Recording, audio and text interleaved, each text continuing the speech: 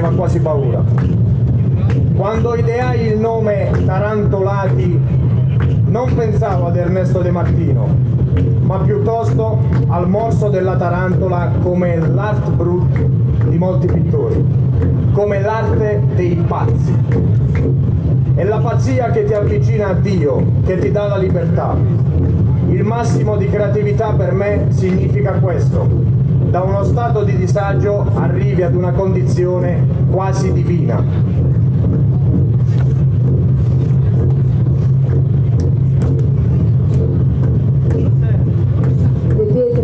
passeggio erano umide.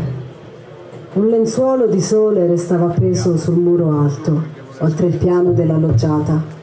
Mi chiamavano da tutte le camerate, che avevano alcune solo le porte, altre anche le finestre basse sul passeggio. C'erano i contadini di Montescaglioso, i compagni di Chiellino di Pisticci, quelli di Irsina cantavano, alzavano il pugno e volevano baciarmi tra le sbarre. Quello è il sindaco? fecero i vecchi. Non sono come voi, mi hanno imputato di concussione, disse a quelli di Irsina. E noi da sciopero a rapina, attentato omicidio, gli risposero. Siamo tutti qua, intervenne il Giappone. Stai bene alla settima, se no vieni con noi. Lo tengo vicino a me, disse Chiellino. Domani ti lavo la roba, tu scriverai a mia moglie. Ridemmo, l'ora finiva. Il giornale, eh, il giornale! ma il giornale che volevano da me, io nemmeno potetti averlo, era tra le cose proibite. Dopo mangiato, il pomeriggio nostro cominciava, al mezzogiorno, e si attaccavano i canti.